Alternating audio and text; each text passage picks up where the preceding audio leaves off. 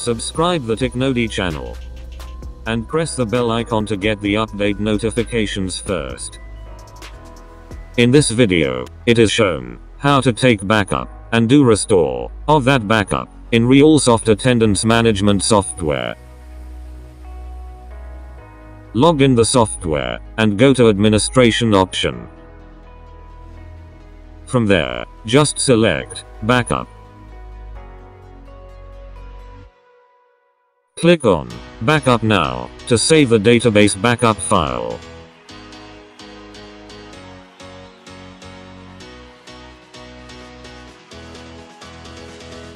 Select the location where you want to save the database backup and click on Save.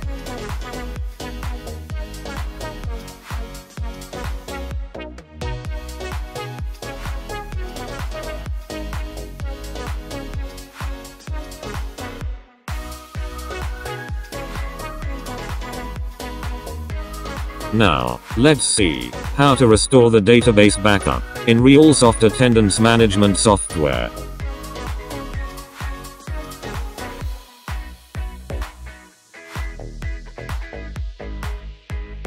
Log in the software and go to administration option. From there, just select backup. Now, click on restore backup and select the backup file.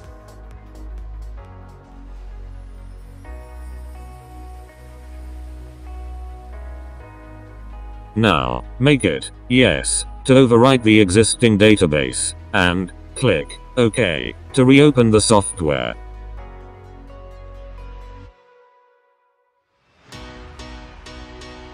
Now, you can see, database is restored successfully.